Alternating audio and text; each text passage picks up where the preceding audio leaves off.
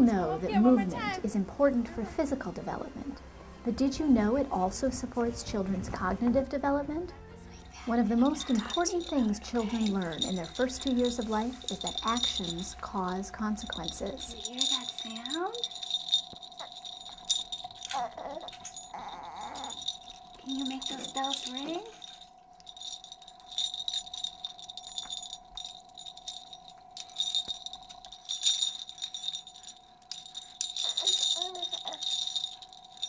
Babies quickly learn that banging, squeezing, or shaking a toy can produce interesting results. One way to support young children's early learning is to provide materials they can act upon to make things happen. Teachers and parents can show babies how a toy can make an interesting sound. They can also help babies understand the effects of their actions by describing them out loud.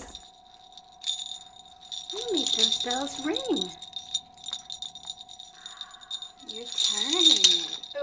Uh-oh, where'd it go? Where'd it go?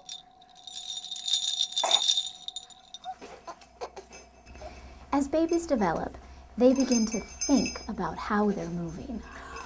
One way that adults can help build this mind body connection is through music. Even very young babies adapt their movements based on the kind of music they hear.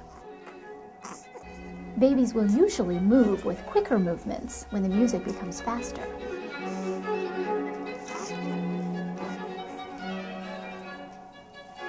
Teachers and parents can help babies learn through movement by playing and singing music with different rhythms and tempos, and by dancing with babies to different types of music.